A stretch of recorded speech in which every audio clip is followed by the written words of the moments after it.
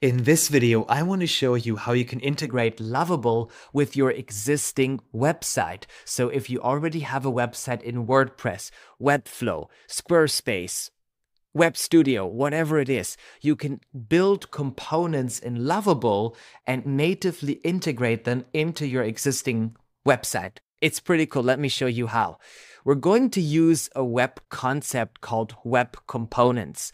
Um, and what they allow you to do is you can actually build components that are attaching with a shadow root to other pages. So you can build a component that loads remotely, but then this component itself can attach itself to a website and then natively live inside of there without the limitations of an iframe. That's how intercom works. That's how, um, you know, all those live chat widgets work that you can add on your websites. So let me show you how you can set this up. I already have an example page here, and I'm just going to show you how this will work then on any builder out there.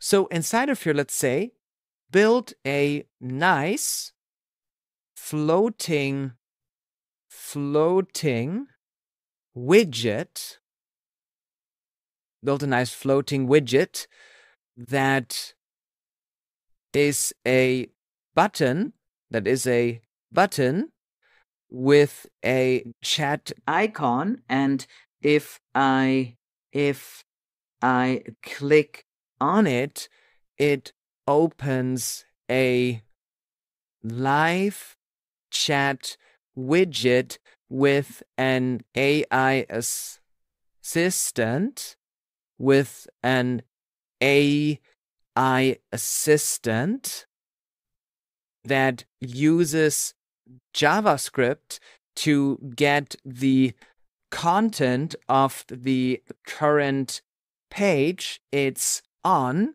and use that to answer answer questions. And I'm just going to say use lovable cloud to proxy the AI API AI API calls so it's secure. There you go. And now there are more that we need to do for security, but you know, uh, I'm just going to make it quick here. And then let's say I need this component to be a custom web component following the web platforms web component framework. And then I'm just going to add this web component documentation from the official developer documentations for the browser inside of here. So I want the component to load as a as a custom HTML element with the tag lovable chat component and it adds a src attribute to load the component remotely so I can embed I can embed it on all other websites. Please set this up as mentioned.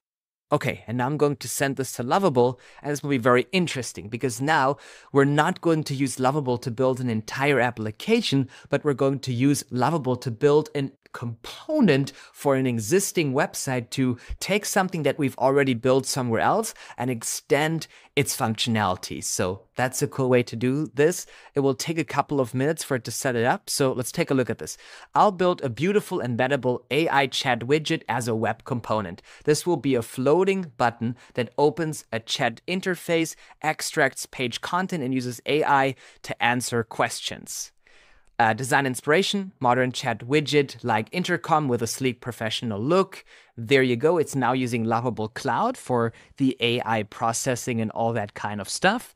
And now it creates the widget pages, it builds the web component. We should be able to load it remotely. And, you know, you can use this to build your own intercom kind of SaaS and then you know charge people for adding those widgets on their websites there's so much how you can monetize this idea i think it's pretty cool and we'll just wait till lovable is done and then i'll show you this in action so now Lovable finished the widget. So let's take a look at this. Um, let's publish this. And I think there is some manual stuff that we need to do with it. So let's make sure it's published. I want to copy this URL here and just quickly give this to Lovable. And let's tell Lovable, this is my, ooh, let's close this.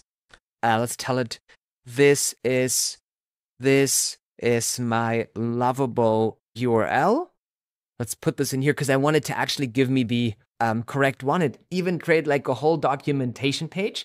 And as you can see, this is the widget. Now, is it fully responsive? Not yet, but it's still cool and we're going to fine tune it. Um, and you can just embed those widgets on any website. So, um, and then the nice thing is they work remotely. So when you change something in Lovable, it changes it on your website. So you don't have to go back and repaste and copy code over and back and all that kind of stuff. So, um, you know, it's just now going to make the website updates to load it from the correct source. This can take a little bit. In the meantime, I can already assume how it will work because I know a little bit about web components. Um, I'm a fan of them. So let's zoom in here and let's just go to my favorite website, HTML Online Viewer, when you do this kind of stuff. So let's just paste our website URL inside of here and now it gives me this embed code for the web component. So I can just paste this inside of here. Now, obviously, it's not going to work because it loads it from your domain. So we're just going to swipe out the domain here, right? And we're going to paste that here. And let's see if it does load. Let's see, add the component anywhere lovable component. Let's format this. Okay, we have a script. It loads the script. We can delete this now and let's see if this works here. Okay, let's format that. Let's preview this. It doesn't seem to load the component, so we'll see if this JavaScript file actually is loading the widget code. So let's open this one here. And as you can see, this goes to a 404 page. So we need to adjust the web component a little bit. Um, and as you can see, widget loader JS, um, let's say I think we have a React router issue intercepting with the code that we're actually delivering. If, uh, let's say, if I go to and then, you know, your domain slash widget loader dot JS, I get a 404 page. I think the React router is not considering considering that this page should deliver a JS file. There you go. And now I'm just telling it because this link here that we're opening, this widget loader JS that it created for the um, you know web component, um, it should actually serve a JavaScript file. And I think the React router is trying to catch it instead of delivering a JavaScript file. And that's where the problem occurs. You're absolutely right. React router is catching that route. Let me fix this by creating a widget loader as a true, true static file in the public folder. So now it creates the as a static file. And then we'll be able to then serve this and then have this widget work on any site that we embed this little code. And you can build a business around it. You can add an HTML attribute to the widget with the user ID and charge them for, you know, sessions in the AI mo- module, in the AI widget, and all that kind of stuff. So it's actually quite genius. And you can make sure it's responsive. But this is how you can actually, you know, get Lovable working in your other websites that are built outside of Lovable and sprinkle in some native functionalities and they will have access to everything on the page because it doesn't have the limitations of an iframe which can't go outside of its container but web components can go outside of their container so they can get access to everything that's on the page. Very useful for this example here. Um, and yeah we'll, we'll see. It'll take a little bit till it's done and then we'll check this out. Actually it's done already. So Let's try opening this page. This should open a static JavaScript file after we have this updated. And then let's finger crossed that this will work. Let's cross our fingers here. And let's see. It'll take a little bit. There you go. And now let's try opening the page. And this is now loading the widget, which is good. So now we can close this and if I'm previewing this page, as you can see now this page includes our AI assistant. So this widget now is our AI assistant. So I can copy this script here and people can just add this on their website. So, you know, like as you can see, Lovable gave us this embed code. I can add this embed code anywhere and it will load the widget. So I can go to my, you know, third party website tool and this could be your user or your client. They can add a custom HTML block inside of here. And there are ways how you can monetize this. Let's just run script inside of Canvas. They're going to paste this embed code. And as you can see now, our lovable widget appears on our third party website. Let's say, what is this site about? Oh. Uh, do what? Oh, I can't do A because uh, cause it interferes with her shortcuts. So let's publish this page for now. And and then we should be able to have this lovable widget actually working on any third-party page, which is quite cool. Web components are so underestimated. They are very powerful, and you don't have to use any tool besides Lovable to create them. You can now create them with the power of AI directly inside of Lovable. It seems like it takes a little bit for it to publish here in Web Studio, but this is, you see, like the whole idea, this works. Let's just, uh, you know, say hi. And it won't send, I think there's a minimum limit. We'll see. Maybe we need to improve the functionalities of how this will actually work. Oh my god, it's still publishing. Unbelievable. Takes forever. It's still publishing. This takes forever. Okay, so in the meantime, we'll just run this in HTML online viewer, and I can ask it, you know, hello, how are you? And now it won't let me send the message to the AI, so now we can just edit this, and let's say, perfect, but I cannot submit my question question to the AI chatbot. There you go.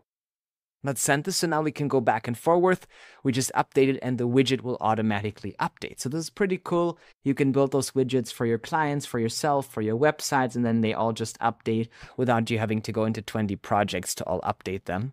Web components are quite cool when it comes to that, especially when, you know, it's just a client side application and you can then kind of like have one project managing some of the components that will be used by other projects because they can also emit custom events, call functions on your page, interact with the entire page contacts. They're not limited to, you know, like basic post messages such iframes would do. So it's quite neat actually what you can do with them. Um, and you can now have this embedded on any page. And it's still building. Oh my god. this takes a little bit, but uh, okay, I think this was successful now on Web Studio. So you can see now I have my page on Web Studio. Now we just need to do an update so we can actually ask it some stuff. Um, and we can, you know, submit the message because it blocks that. And then we'll see if it has the context on the entire page, which it should have because that's how web components work. So let's see what I fixed. Okay, let's publish this. Now, the nice thing is I don't have to now add this code again, change this code. I update it in Lovable, and because it's a web component, it loads the code, the source dynamically. Next time I load the page, the component will be fixed. So I can now reload this page, as you can see. And now I can say, hello. I mean, is it like, look at this let's say, what is this page about? Um, this page explains what a content block component is and how to use it. It describes how to edit, add, and predefine instances with a content block in both the content block component is exactly what the page is about. And this is how you build web components inside of Lovable. And you can make lots of money with it. There's a thing called Typeform, and they're making millions by just doing this. There's a thing called Intercom, they're making millions by doing this. There are lots of major B2B SaaS that just ship you a little code component as a, you know, as an embed. You can embed stuff into a Shopify store. You can build Shopify apps with this that just embed web components in people's sites to have a sales counter and all that kind of stuff. And now you can do it in Lovable with this hack that I showed you using the new web components. And they're not new, they're pretty old, but the web component standard, which is supported in Lovable.